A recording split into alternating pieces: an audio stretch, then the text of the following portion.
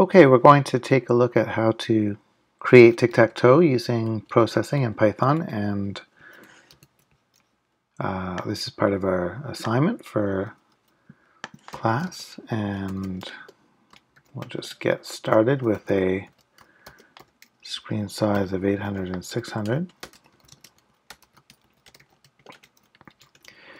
and I think you know there's going to be some initial planning steps that uh, you'll need to do as part of this assignment. Um, but in these videos, I'm I'm going to try to go through quickly uh, each step of the process without giving away the whole thing. And I think a good starting point is to simply try drawing the screen. Now this is kind of assuming you've gone through some pencil and paper planning.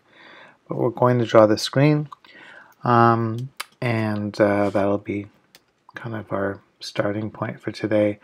I think a really good thing to remember what to do when you, or to get started with this, is to remember that you can um, print the position of a mouse click by uh, using your mouse pressed function and placing a, this is basically, the brackets just make this kind of like a mini list almost like a uh, two things that can be printed as once and we'll just print where the click was. So if I have a screen roughly this size, you know, maybe I want the tic-tac-toe board to be kind of like this here and over here I've got some kind of information like instructions or maybe uh, maybe it can play multiple games and um, so I've got some kind of score there, something like that. So if I were thinking I wanted to kind of have the top corner of my scoreboard there,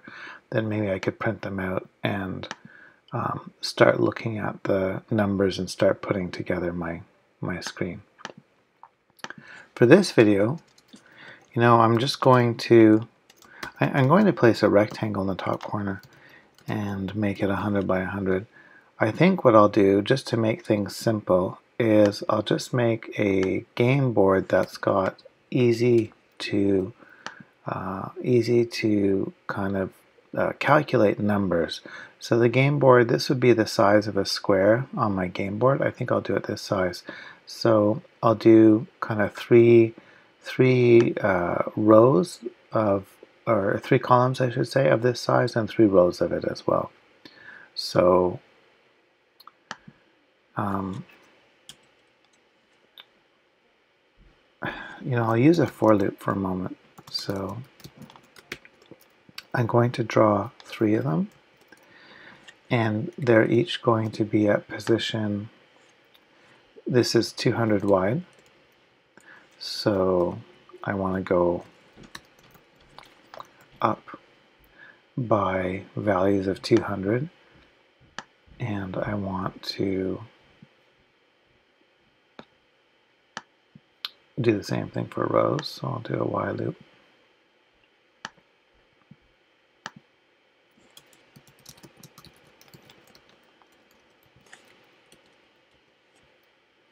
And be the same thing, 200 times y. Okay, so you can see, and this is exactly, it's going to be exactly 600 tall, so it's, it's using up the whole kind of game board. Now, this isn't I'm not saying this is how to draw the game board. You know, typically you have a line that goes from the top down to the bottom, two vertical lines and two horizontal lines.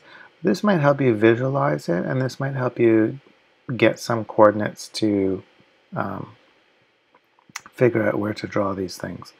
So I, I'm just going to keep this as my game board. Again, I don't expect yours to look like this. I don't want it to look like this. You need to customize yours, but let's keep this code for now.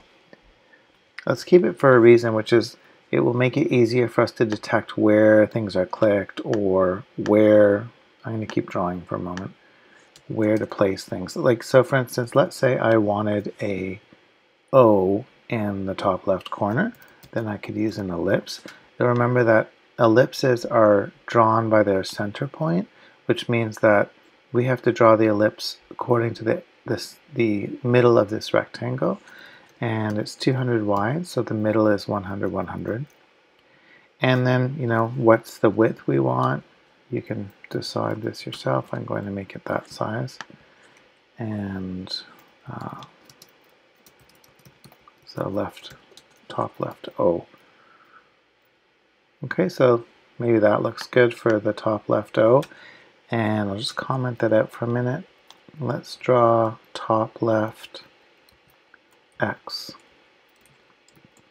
Well, you have a few options here.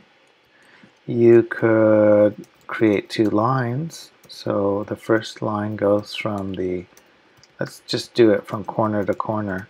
So we'll go from this point is 0, 0, and this is 200, 200. This is x is 200, but y is 0.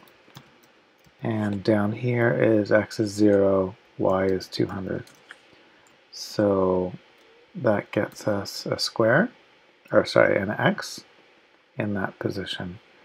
Or you might try playing around with the text command and actually drop an X on the screen and make it big and do it that way. I know this is going to be too small, it's going to look kind of funny, but um, that can get you some uh,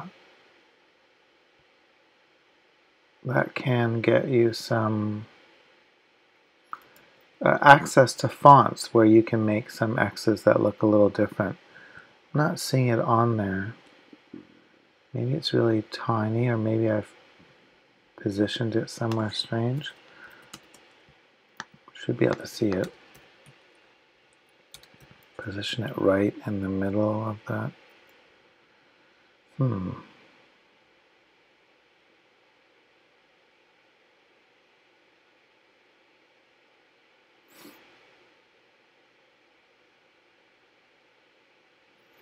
I'll come back to that. So I've drawn the first position and I'll leave it to you, you to continue with that. So that's drawing the game board. That gets us started. You really, you can imagine, for instance, if we're going to use variables, we'll do this in the next step.